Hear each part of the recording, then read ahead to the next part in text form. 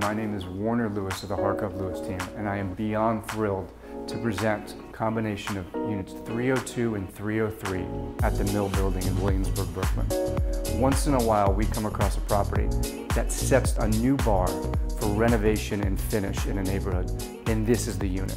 With this apartment, there was a three-year painstaking renovation that was done solely for the owner.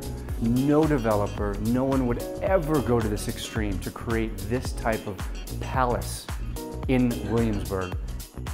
Rarely do apartments like this come up. And what it has is everything that is sorely lacking on the high end of the market in Williamsburg. You have space. Look around. You could actually play a basketball game in here. That does not exist in this neighborhood. You have ceiling height. You have a Soho feel, the loft feel that people are desperate for. You will not see anywhere. I don't cook. I shouldn't be allowed to cook. This kitchen makes me want to cook. You have seating for six around the island. You have absolutely custom everything. This would be the dream kitchen for any James Beard award-winning chef.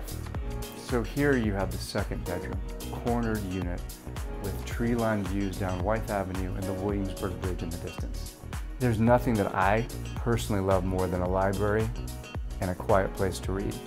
This is what I want in my next apartment. Now this is a master bedroom. I cannot imagine how incredible it would be to wake up every morning and be in this room. There have already been more than a few wows on this tour, but this takes the cake. The walk-in, and when I say walk-in, I mean walk-in master closet into one of the most beautiful bathrooms you will find anywhere. It would take me a lifetime to fill this up and I would have a great time doing it. Incredible, absolutely gorgeous soaking tub. Double vanity, water room, shower. You feel like you're in the luxury hotel in Europe. Thank you for taking this tour with me. I hope it's been as fun for you as it has been for me.